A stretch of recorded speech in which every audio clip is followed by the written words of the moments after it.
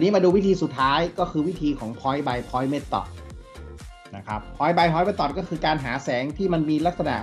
ไปตามทิศทางที่เราอยากจะได้ลำแสงมัน การหาแบบ point by point ต้องอาศัยการอ่านกราฟนะกราฟตัวนี้เรียกว่ากราฟการกระจายแสงของของหลอดของดวงโคมนะครับ ซึ่งดวงโคมหลอดพวกนี้มันจะมีกราฟการกระจายแสงเฉพาะตัวของมัน ไอหลอดเนี่ยมันอยู่ในดวงโคมใช่ไหมครับ แล้วดวงโคมมันจะเป็นตัวบังคับให้แสงมันเบี้ยวไปทางไหนก็ได้ ให้แสงมันตะล่อม ให้แสงมันพุ่ง ให้แสงมันเบี้ยว โยได้หมด ตัวหลอดไม่สามารถบังคับแสงได้ แต่ตัวโคมสามารถบังคับได้ เพราะนั้นวิธี point by point เนี่ยมันก็จะเป็นการคำนวณโดยอาศัยมุม ใช้มุมใช้ตรีโกณมิติอ่าเพราะนั้นคุณต้องรู้จักตรีโกณมิติด้วย นะ sine cos tan เนี่ยคุณต้องใช้นะครับเพื่อจะได้หาว่าเฮ้ยมุมที่อ้างอิงเนี่ยมันเป็นมุมเท่าไหร่กันแน่เพราะนั้นลื้อฟื้นตรีโกณมิติให้ดีๆนะครับไซน์คืออะไร cos คืออะไร tan คืออะไรมุม theta มุมประกอบมุม จะหายังไงนะครับอาจจะมองทั้งด้านมิติทั้งด้าน top view ทั้งด้าน side viewมาประกอบร่วมกันได้นะเพราะฉะนั้นต้องดูมุมให้ดีๆ ว่ามุมที่มันจะสอดคล้องกันไปเนี่ยมันจะเป็นมุมยังไง คณิตศาสตร์พื้นฐานนะ พวกนี้พวกเราต้องอย่าอย่าทิ้งอย่าขว้างนะครับ ตีโกณมิติ พวกนี้จะถูกนำมาใช้นะครับ นี่ เป็นการคำนวณหาในทิศทางนั้นๆนะครับ เพราะนั้นเราก็ต้องรู้ว่าความเข้มของแสงในทิศทางต่างๆเนี่ยมันเป็นเท่าไหร่ เอามาใช้เป็นค่าในการประกอบในการคำนวณนะครับ มันจะมาจากพวกนี้นี่ อันนี้คือสมการที่จะเกี่ยวข้องกับจุดที่เราจะออกแบบ นะครับ ดวงโคมเราอยู่ตรงนี้ เราอยากจะหาหาแสงใต้ดวงโคม ตรงนี้เขาเรียกว่า e 1นะถ้าเป็นจุดที่อยู่ใต้ดวงโคมตรงนี้ ตรงนี้เขาเรียกว่ามุมศูนย์องศานะครับมุมที่ตรงอยู่กับดวงโคมเลยนะ ตรงนี้เราเรียกว่าศูนย์องศานะครับ สมการจะเป็นสมการของ e 1ลำแสงตัวนี้จะเป็น i 1เข้าใจป่ะ e 1 i 1ใช้คู่กันนะครับแต่ถ้ามุมไม่ใช่มุมศูนย์องศามันเบี้ยวออกไป มุมเท่าไหร่ไม่รู้แหละตัวนี้จะเป็น e 2นะเพราะนั้นพอ e 2เปลี่ยน i 2ก็จะเป็นสมการที่จะต้องนำมาใช้ในการคำนวณนะค่า i 2ตัวนี้นะ i นี้ไม่ใช่กระแสนะ i จะเป็นลำแสงที่จะวิ่งไปตามมุมนั้นๆ ก็ไปใช้ในสมการของ e 2ซึ่งแน่นอนมันก็ต้องมีสมการของมุมเข้าไปเกี่ยวข้องเห็นปะแต่ถ้าเป็นสมการตัวนี้ มุมมันเป็นมุมศูนย์นะเพราะนั้นสมการซีต้าจะไม่มี นะแต่ถ้าเป็น e 2ปุ๊บ มีทั้ง i 2มีทั้งมุมซีต้าเข้าไปเกี่ยว แล้วก็ระยะที่มันจะเปลี่ยนไป มีทั้งระยะที่เป็นระยะ h ระยะ d เข้ามาเกี่ยวข้องนะครับ สมการจะต่างกัน ถ้าเป็นจุดที่อยู่ใต้ดงโคมเขาเรียกว่าจุดที่ตั้งฉากกับดงโคม สมการจะง่ายเลยครับ e 1เท่ากับ i 1หาร h ยกกำลังสองนะอันนี้คือสูตรที่เป็นสูตรที่อยู่ตรงนี้เห็นไหมครับ i 1หารด้วย h กำลังสองแทนค่าเลย ก็จะกลายเป็นค่าของ e 1นะครับ e 1ก็เป็นลักอะนะถ้าระยะของเราคิดเป็นเมตร e 1ของเราก็เป็นลักนะถ้าระยะของเราเป็นฟุตก็เป็นฟุตแคนเดิลก็ล้อกันไปนี่เห็นไหมครับเนี่ยเป็นลักก็ได้ฟุตแคนเดิลก็ได้ เพราะมันแปลตามระยะที่เราอ้างอิงถ้าระยะเราอ้างอิงเป็นเมตร มันก็เป็นลักถ้าเป็นฟุตก็เป็นฟุตแคนเดิล ส่วน i ก็จะเป็นความเข้มของแสงในแนวตั้งฉากนะในมุมตรงนี้เขาเรียกว่ามุมศูนย์เนาะหรือว่าเป็นมุมตั้งฉาก นี่ก็คือตรงนี้เห็นไหมคือตรงนี้สมการตรงนี้ก็คือเอา i 1มีค่าเท่าไหร่เดี๋ยวเราต้องไปอ่านกราฟก่อนนะ อ่านกราฟก่อนได้ค่าความเข้มแสงมา เสร็จแล้วเราก็มาเข้าสู่นะครับ จุดที่เฉียงก็คือไม่ได้เป็นอยู่ใต้ดงโคมไม่ได้ตั้งฉาก เพราะนั้นสมการจะเป็นสมการนี้ครับ e 2เท่ากับ i 2หาร d กำลัง2 cos ซีตามี 2 สูตรด้วยนะ แล้วแต่เราอยากจะชอบใช้สูตรไหน อีกสูตรเป็นสูตรนี้ครับนะ i i 2เหมือนกัน แต่ตัวหารจะเป็น h กำลัง2แล้วก็เป็น cos ซีตาทั้งหมดกำลัง3นะก็คือเราขี้เกียจหาดีอะ เราใช้มีค่า h อยู่แล้ว เราก็ใช้ h ได้นะ แต่ตรงนี้ต้องเป็น cos ซีตากำลังสาม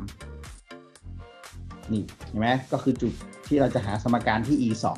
2นะเพราะนั้นเราก็ต้องรู้ว่า i 2ก่อนถูกไหมรู้ i 2รู้ระยะ h ก็ได้ หรือระยะ d ก็ได้ แต่มุมซีต้าก็ต้องรู้นะว่ามุมซีต้าเท่าไหร่วะเนี่ยเพราะมันจะไปอยู่ในสมการ ใช้สูตรไหนก็ได้นะครับ แล้วแต่ไม่ได้บังคับ แต่ค่ามันจะเท่ากันนะครับในนี้ก็ความหมายเนาะ ทีนี้ประเด็นก็คืออยู่ที่กราฟการกระจายแสงนะกราฟจะมีอยู่ 2 แบบครับกราฟที่อ่านมาแล้วเป็น candela ก็คืออ่านแล้วใช้ได้เลยนะค่า I อออกมาเป็นแคนเดล่าแล้วใช้ได้เลย อีกแบบหนึ่งจะเป็น candela ต่อ kilolumen เพราะฉะนั้นคุณก็ต้องรู้ลูเมนของหลอดไฟก่อนว่าเฮ้ยหลอดตัวนี้มีกี่ลูเมนนะครับ แล้วก็เอา kilolumen เข้าไปคูณกับค่าที่อ่านได้จากกราฟ มันก็จะเป็นค่าของค่า I ที่ถูกต้องนะก็คือต้องมาปรับ นะแล้วค่อยไปใช้ต่อนะครับ นี่ ตัวอย่างนี่ตัวอย่างตัวนี้คือ กราฟการกระจายแสงนะฮะบอกเป็นแคนเดล่านะฮะกราฟนี้ แล้วกราฟตัวนี้สังเกตว่ามีอยู่ 2 หลอดครับ 75 วัตต์กับหลอด 100 วัตต์ แต่ซ้อนอยู่ในสมในกราฟเดียวกัน สีเข้มตัวนี้คือตัว 100 วัตต์ สีปะปะตัวนี้คือ 75 วัตต์ แต่เป็นใช้กราฟเดียวกัน อ้างอิงกราฟเดียวกันนะครับเพราะนั้นเวลาคุณจะอ่าน ก็ต้องอ่านค่ากราฟตัวนี้ให้เป็น ค่าที่คุณจะต้องอ่านคือตัวนี้ครับเห็นไหมมีร้อยสองร้อยสามร้อยสี่ร้อยอันนี้คือค่าของ i ที่คุณจะไปใช้ในสมการตะสมการในการคำนวณนะไม่ว่าจะเป็น e 1หรือ e 2เมื่อกี้นะครับ ก็อยู่ที่มุม ถ้าอย่างกราฟดำเห็นไหมถ้าเป็นกราฟดำที่มุมศูนย์องศา มันก็คือตรงนี้ปื๊ด เห็นไหมตรงนี้ 400 เกิน 400 มา แสดงว่าตัวนี้คือ 400ซาวเห็นปะถ้าเป็นกราฟเส้นปะก็คือกราฟของ75 วัตต์ ตรงมุมศูนย์องศา ตัวนี้ 300 แสดงว่าไม่ถึง 300 ใช่ไหม ตัวนี้เขาอ่านได้ 280แคนเดล่า อันนี้คือ i i 1นะเนี่ยคือ i 1ทั้งคู่เลย แต่เป็นของคนละหลอดนะคุณได้ i 1เสร็จคุณก็ไปเข้าสมการารด้วย h กำลังสองใช่ไหม h กำลังสองเท่าไหร่ก็ว่ากันไปนะไอตัว e 1เนี่ยหาง่าย เพราะว่ามันเป็นระยะที่มันเป็นระยะศูนย์องศา มันอ่านง่าย แต่ถ้าเป็นมุมอื่นเนี่ยเราก็ต้องลากเส้นให้มันสัมพันธ์กับกราฟ แล้วถึงจะอ่านค่าได้นะเดี๋ยวคงไปดูตัวอย่างเนาะว่าจะอ่านยังไง อันนี้ก็เป็นอีกกราฟหนึ่งเขาเรียกว่าเป็นกราฟแบบ candela ต่อ kilolumen สังเกตตรงไหนครับตรงนี้เห็นไหม candela หาร KLM เนี่ย ตัวนี้จะเป็นตัวบอก เพราะนั้นค่าที่อ่านได้เสร็จยังใช้โดยตรงไม่ได้นะครับ ย้ำนะ ไม่เหมือนกับตะกี้ตะกี้ใช้โดยตรงได้ แต่กราฟตัวนี้ใช้โดยตรงไม่ได้ ค่าที่อ่านได้จะต้องถูกคูณด้วยค่าลูเมนที่แปลเป็นกิโลเรียบร้อยแล้ว แล้วค่อยไปใช้นะครับกราฟลำแสงก็คือตัวนี้ อันนี้คือซ้อนกันสองวงเนาะ เห็นไหมมันจะอยู่ที่การวางโคม โคมมันเป็นแบบยาวๆ เพราะนั้นเวลาคุณพลิกลำแสงก็จะเปลี่ยนเห็นไหมโคมแบบยาวเนี่ย เป็นหน้าตัด A หน้าตัด B A คือเส้นนี้ B คือเส้นนี้ลำแสงก็จะเปลี่ยนกัน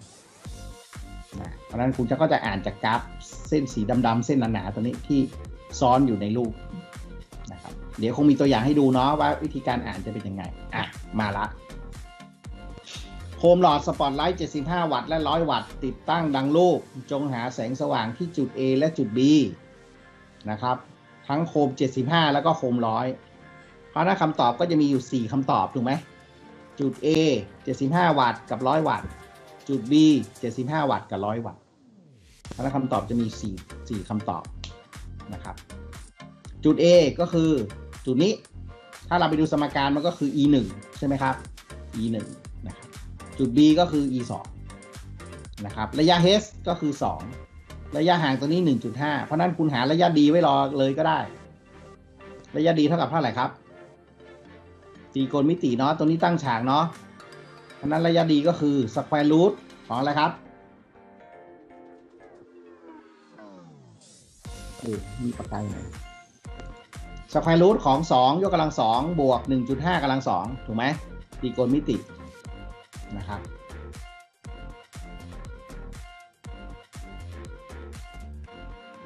เออปากกาหายไปไหนไม่ได้เขียนนานละอะไม่เป็นไร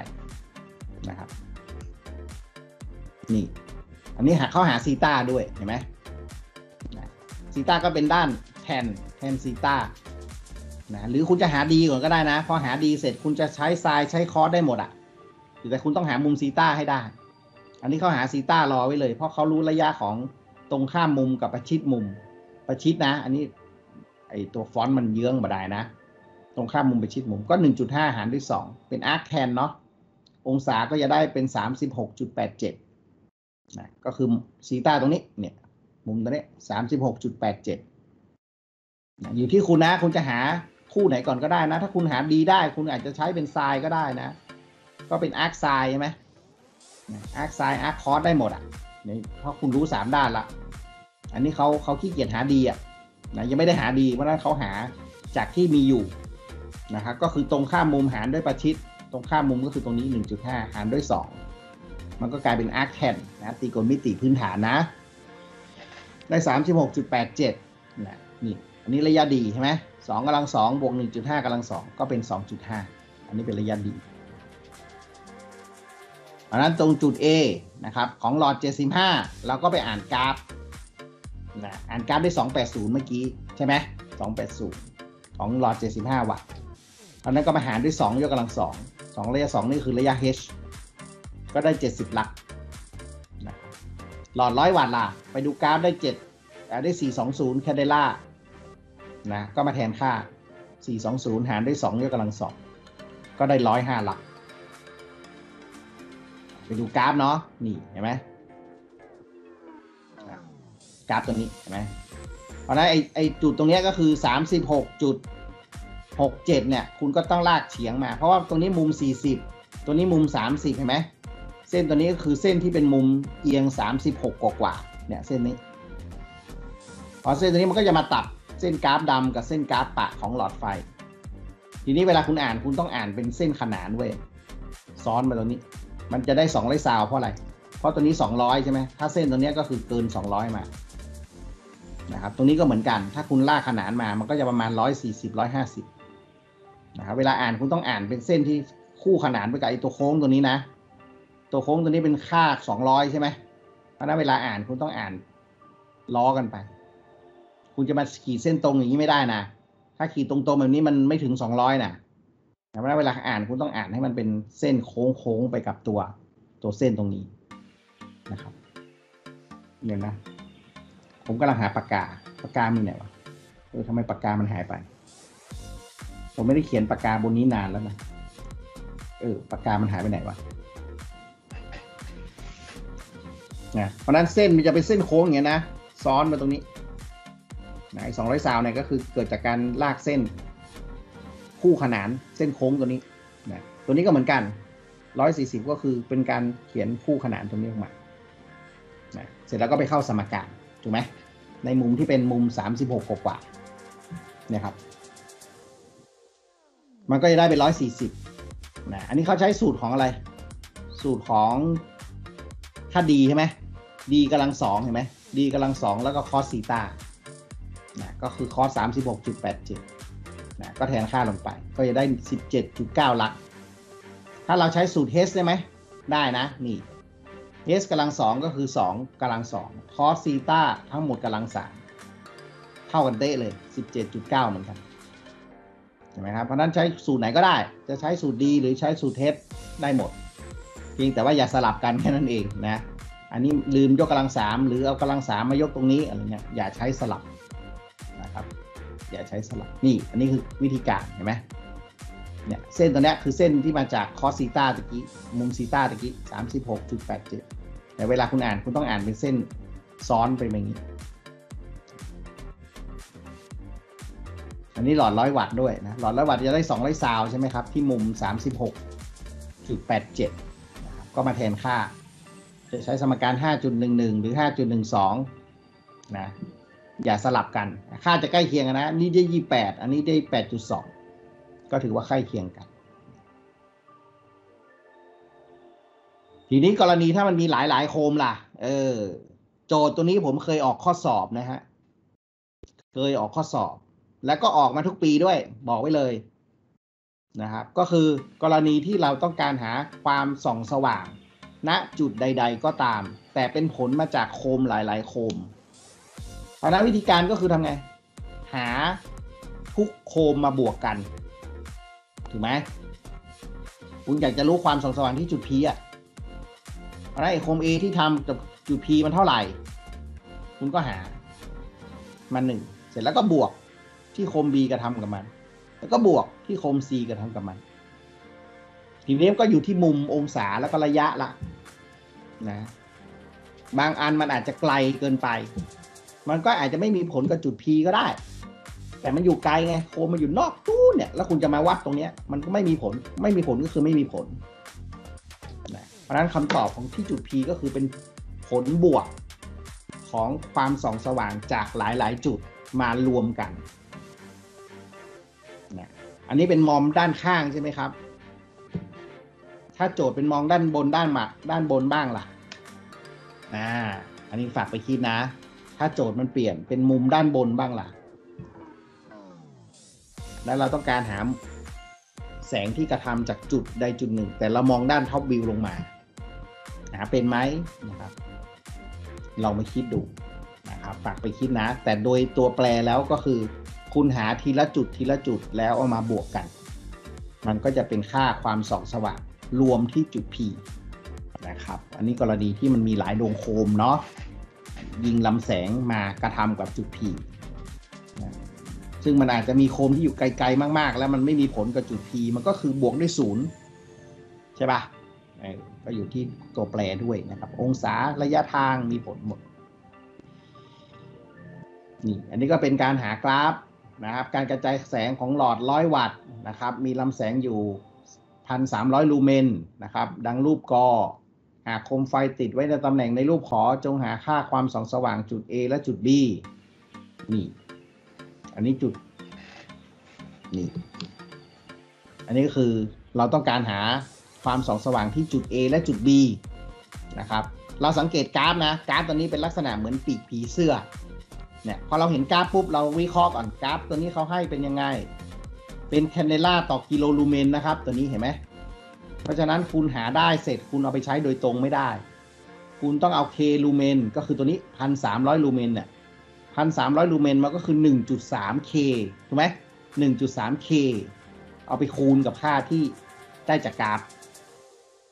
นะแล้วถ้าเราดูจากกราฟดีๆ เราจะสังเกตเห็นว่า เฮ้ย ที่มุมศูนย์เนี่ย มุมตั้งฉากตัวนี้แสงน้อยนะเว้ย แต่ถ้าเป็นมุมประมาณนี้ เห็นไหมแหลมๆออกมาเนี่ย เนี่ยแสงเยอะสุดอยู่ประมาณนี้ก็คืออยู่ประมาณ 800 กว่ากว่าๆเนี่ยมุมตรงนี้ 800 กว่ากว่าๆแต่ตรงศูนย์เนี่ยประมาณเท่าไหร่ 600 กว่ากว่าๆใช่ไหม700 อยู่ตรงนี้ 700 อยู่ตรงนี้ เพราะฉะนั้นตรงนี้ 600 กว่ากว่าๆไม่ถึง 700นะแสดงว่าที่จุด A เนี่ยเวลาคำนวณเสร็จแล้วค่ามันจะต้องน้อยกว่าจุด B จะไม่เหมือนตัวอย่างตะกี้เนาะตัวอย่างตะกี้นี่มันแหลมลงมาตรง A ใช่ไหมแหลมลงมาตรงมุมศูนย์เนี่ยมากกว่าเพราะนั้นเวลาเราคำนวณเราก็ได้ แสงด้านล่างมากกว่า ด้านที่เป็นด้านเฉียง แต่คมตัวนี้ไม่ใช่ แสงมากแต่เป็นมุมที่เป็นมุมเฉียงนะเพราะนั้นตัวกราฟตัวนี้มันจะบอกได้เลยคร่าวๆว่าเฮ้ยเวลาคำนวณไปแล้ว ระหว่างจุด A กับจุด B อันไหนมากกว่า ซึ่งถ้าเป็นตัวอย่างตัวนี้จุด A ได้แสงน้อยกว่าจุด B นะเว้ยถ้าคุณคำนวณมาปุ๊บจุด B มากกว่าไอ้จุด B น้อยกว่า A เนี่ยแสดงว่าผิดละนะอันนี้เป็นการวิเคราะห์เบื้องต้นจากกราฟ พวกเราต้องฝึกการวิเคราะห์สังเกตพวกนี้ด้วยนะครับ ความสูง 2.5 ระยะห่างระหว่าง A กับ B 0.9แล้วเหมือนเดิมครับคุณจะหาซีตาก็ใช้arc tan ก็ได้ หรือคุณจะหา D มาก่อนแล้วไปหา arc cos arc sine ได้หมดนะแต่ถ้ามันมีตรงนี้ให้ก็ใช้ arc arc tan ได้เลย ชิดนะประชิดตรงข้ามมุมใช่ไหมมุมหารประชิดนะเพราะนั้นเข้าสูตร arc tan นี่อันนี้ความเข้มนะ ความเข้มที่มุมศูนย์ใช่ไหมอันนี้เขาหาความเข้มก่อนเนาะที่จุด A นะจุด A อ่านความเข้มจากกราฟได้ 625 นี่ หน่วยเป็น candela ต่อ kilolumen นะครับแต่ใช้ไม่ได้นะ ใช้ 625 คำนวณตรงๆไม่ได้ เพราะนั้นมันกราฟมันเป็น candela ต่อ kilolumen ก็คือตรงนี้ใช่ไหมเราก็เอา 1,300 ลูเมนที่โจทย์ให้มาเป็น K ลูเมนเพราะนั้นมันก็จะเปลี่ยนเป็น 1.3 K lumen แล้ว 1.3 มาคูณกับ 625 ที่ได้จากกราฟ มันก็ได้ 813 ถูกไหม813 พอ 813 เสร็จก็ไปคำนวณหาจุด A ได้ละ เพราะว่าจุด A ไม่ต้องหามุมซีต้าใดๆเห็นไหมมันก็กลายเป็น 813 หาร 2.5กำลัง 2 2.5กำลัง 2 ก็คือ 2.5คูณ2.5 ใช่ไหม ความสูงก็ได้ 130 หลัก อันนี้คือคำตอบที่จุด A นะที่จุด B มุมก็จะเฉียงไปเป็นอาร์คแคนตรงข้ามหารประชิดก็เป็น 0.9 หาร 2.5 มุมที่คำนวณคือมุมซาวองศาดังนั้นมุมซาวองศาคุณก็เอามุมซาวองศาไปทาบบนกราฟนี่โดยประมาณก็ประมาณนี้อะเนี่ยซาวองศาคือเส้นแดงปั๊บปั๊บปั๊บปั๊บปั๊บปั๊บมามันค่าตัวนี้ก็คือเกิน 800 มา อันนี้เขาอ่านได้ 810เห็นไหมกราฟเส้นนี้ 800 เพราะนั้นตัวนี้อ่านโดยประมาณได้ 810 เช่นเดิมนะครับ คุณจะใช้ 810 โดยตรงไม่ได้ คุณก็ต้องเอา 1.3 k ลูเมนเข้าไปคูณ เพราะเนื่องจากกราฟตัวนี้เป็น k ลูเมนอยู่ดังนั้นคูณเสร็จจะได้ 1,000 กับอีก 53 candela แล้วถึงจะไปเข้าสูตรที่เป็นสูตรที่จุด B เนาะ ก็ต้องมี cos theta เข้ามาเกี่ยวข้อง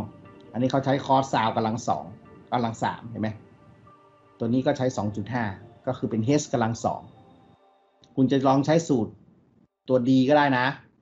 d กำลังสองใช่ไหม แล้วก็คอสซีต้าธรรมดาก็ได้นะก็แทนค่าลงไป อันนี้ก็ได้139นะถ้าเราสังเกตได้ก็คือตะกี้ได้เท่าไหร่ จุด A ได้130เห็นไหมครับ จุด B ได้139เก้าเห็นไหมจุด B ได้มากกว่าจุด A เพราะว่ากราฟมันเป็นแบบเนี้ยกราฟมันจะแหลมมาตรงที่มุม20ดังนั้นจุดตัวนี้จะได้ค่าสูงกว่านี่เห็นไหม จุด A ได้130จุด B ได้139นะครับไม่ต้องตกใจไม่ มันไม่ใช่ว่าจุด A มันจะมากกว่าจุด B เสมอไปไม่ใช่ มันแปลไปตามกราฟนะกราฟตัวนี้มันเป็นกราฟเหมือนผีเสื้อนะตรงตรงศูนย์องศามันน้อยกว่านะเพราะนั้นตรง 20 องศาค่าจะเยอะกว่านะครับเพราะนั้นคำนวณมาตรงนี้ก็ถือว่า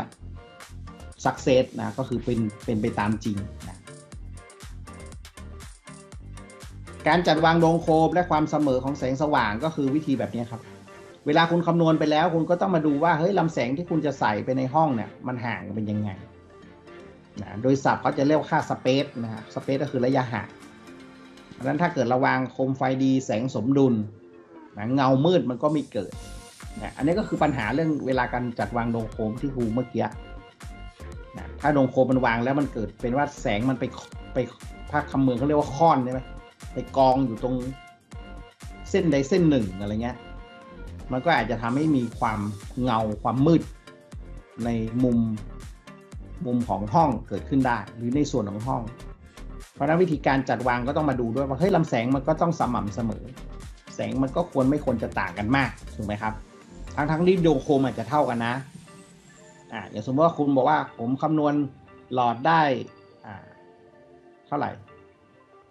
ห้าหลอดหกหลอดเนี่ยคุณมาจัดวาง คุณมาวางเป็นสามกับสามสามกับสองใช่ไหมลำแสงมันก็จะยาวเป็นอย่างนี้ แต่ถ้าคุณมาวางเป็นสองกับสามสลับกัน มันก็อาจจะทำให้ลดช่องว่างของดวงโคมเนี่ยให้มันชิดลำแสงมันก็จะเฉลี่ยได้สมสมดุลมากกว่านะหรือถ้ามันมันมันวางไม่ได้ คุณอาจจะต้องเพิ่มดวงโคม อันนั้นเป็นทางเลือกเลือกสุดท้ายนะครับเพื่อให้แสงมันสมดุลที่สุด เพราะนั้นการจัดวงจัดวางโดโคมก็คือพยายามทำให้ตำแหน่งมันสมมาตรที่สุดเท่าที่จะเป็นไปได้นะครับ ไม่ทำให้เกิดเงานะไม่ทำให้เกิดเงา ซึ่งก็จะมีหลายวิธีนะครับในการวาง อันนี้เป็นสูตรในการคำนวณเนาะ s เท่ากับ square root a หาร n เนี่ย a ก็คือจำนวนพื้นที่ทั้งหมด n ก็คือจำนวนโดงโคมทั้งหมด คุณก็เข้าสู่ตรงนี้ก็ได้ มันก็จะได้ค่า s โดยประมาณ แล้วลูกคุณก็เอาค่า s ตัวนี้มาจัดวางนี่ก็มาวางอย่างนี้ก็ได้ s ก็คือตัวนี้ถ้าเป็นโคมแบบกลมๆเงี้ยพวกดาวไลท์โคมที่เป็นแบบกลมๆคุณก็เป็นค่าจุดกึ่งกลางใช่ไหมครับหรือโคมที่เป็นโคมยาว คุณก็เป็นจากกึ่งกลางด้านนี้มาหาด้านนี้ หรือจากด้านนี้ไปหาด้านนี้เนี่ยอันนี้คือค่า s หรือโคมที่วางเป็นแถวแถวแถวแถวแบบเซเว่นใช่ไหมหรือห้างสรรพสินค้าเนี่ยมันจะเป็นโคมที่วางหัวต่อหัวกันไปเพราะนั้นค่า S ที่คำนวณได้คุณก็มาจัดด้านนี้ หรือวางเป็นกลุ่มเป็นคู่ อันนี้เขาเรียกว่าเป็นคู่เนาะค่า S ก็เป็นค่านี้ ตัวนี้ก็เป็นด้านนี้ หรือวางเป็นกลุ่มกลุ่มอันนี้ก็ใช้ค่า S คล้ายๆ กับตัวนี้เหมือนกัน แต่ส่วนใหญ่ที่เรามักจะวางก็จะเป็นกอไก่คอไข่ถูกไหมครับ ที่เราใช้บ่อยๆเนาะก็คือเป็นแบบนี้แบบนี้นะอยู่ที่เป็นดาวไลท์หรือคมเป็นคมยาวนะครับค่า S ก็เป็นค่าพวกนี้นะกับผนังล่ะผนังก็จะมีด้าน x กับด้าน y นะครับนี่ด้าน x คือด้านนี้ด้าน y คือด้านนี้ ถ้าเป็นถ้าเป็นโคมแบบกลมเนี่ยมันจะเป็นค่า y แต่ถ้าโคมแบบยาวมันก็จะมี x กับ y นะวันค่าแนะนำก็อยู่ตรงนี้ครับ x ประมาณ 60 y ก็ประมาณ s หาร2นะเพราะนั้นเรารู้ s ละถ้าอยากจะรู้ตัวนี้ก็ s หาร2 ก็เป็นระยะที่แนะนำนะครับ แต่ทั้งนี้ทั้งนั้นก็ต้องมาลองจัดวางดู ว่ามันใส่แล้วมันสมมาตรสมดุลไหมนะครับ หรือถ้าใช้ใครชอบใช้ซอฟต์แวร์ได้เก่งๆ ก็ต้องเอามาลองจัดวางในซอฟต์แวร์ดูนะอันนี้อาจจะต้องฝากไปใช้ในวิชาต่อๆไปนะในวิธีการคำนวณแสงสว่างนะครับ อันนี้ก็เป็นการคำนวณหาค่าระยะห่างนะครับ อันนี้เขาเรียกว่า s หารด้วย mh นะครับ ก็คือเป็นค่าที่ได้จากตารางก็มีนะ ในตารางของ CU จะมีค่าพวกนี้อยู่นะครับสูงจากพื้นงาน 2 เมตรเนี่ยเราจะวางค่า s เท่าไหร่เนี่ยก็คือเอาตัวนี้มาคูณ2มาคูณ 2 ก็ได้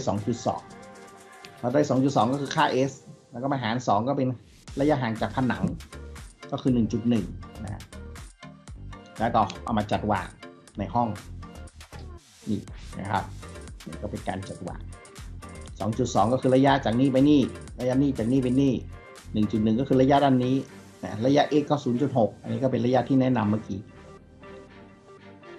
อันนี้ก็ต้องเอามาจัดวางแล้วยืดหยุ่นได้นะครับ ยืดหยุ่นได้ปรับได้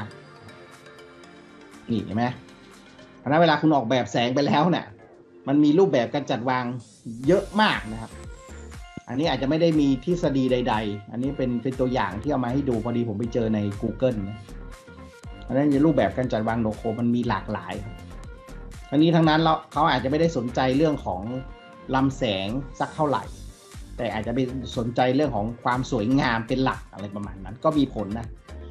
แต่เขาจะไปเรื่องเล่นเรื่องของวัดแทนอะเออหลอดถ้าแสงมันมากองอยู่ตรงกันเยอะๆเงี้ยเขาอาจจะไปเลือกไซส์หลอดที่มีวัดต่ำๆคือไม่ได้เน้นเรื่องความสว่าง แต่อยากให้เห็นเป็นลาย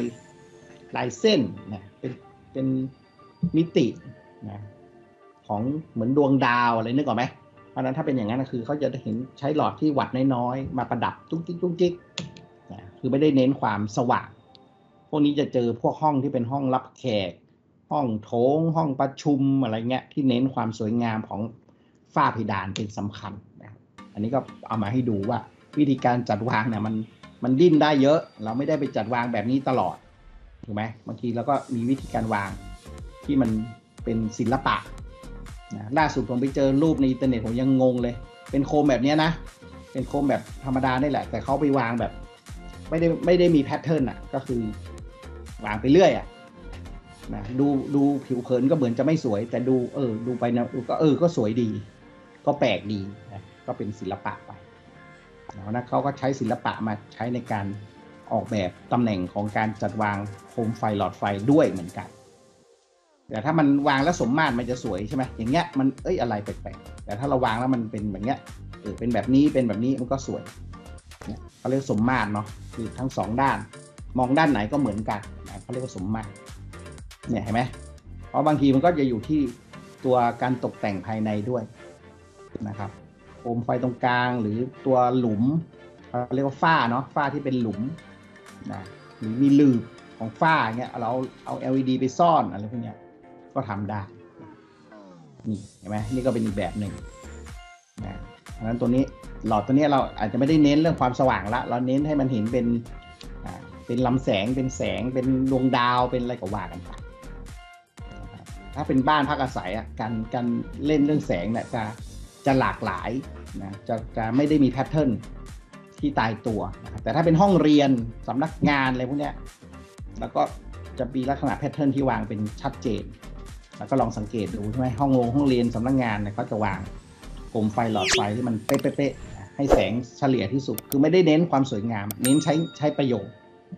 นะเน้นใช้ประโยชน์ แต่ถ้าเป็นอาคารพักอาศัย เป็นโรงแรมสวยๆโถงรับแขกอะไรเงี้ยวิธีการออกแบบแสงก็จะคนละคนละเป้าหมายละจะเน้นเรื่องความสวยไว้ก่อน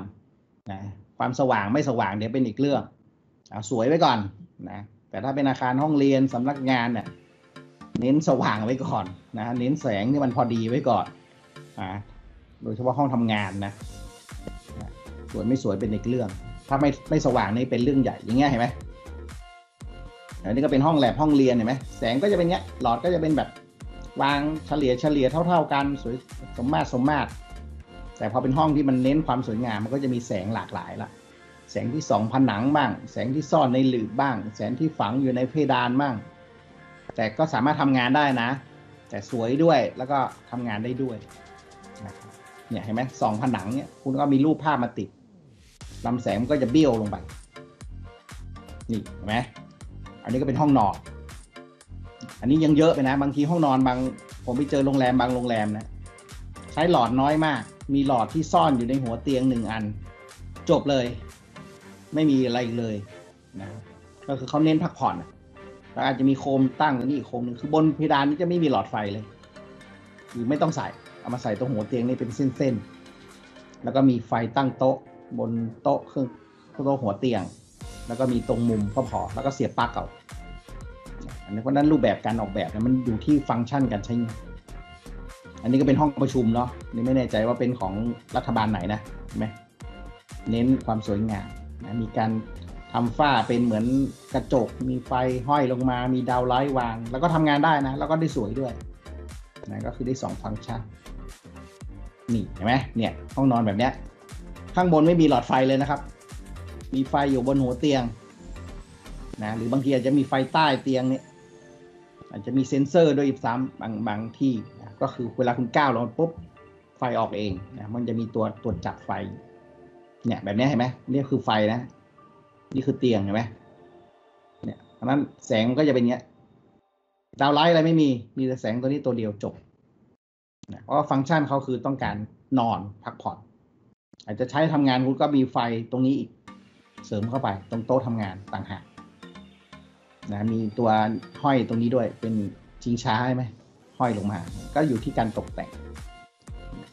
การเล่นเรื่องแสงไฟเนี่ยเยอะนะครับ ถ้าใครสนใจก็สนุก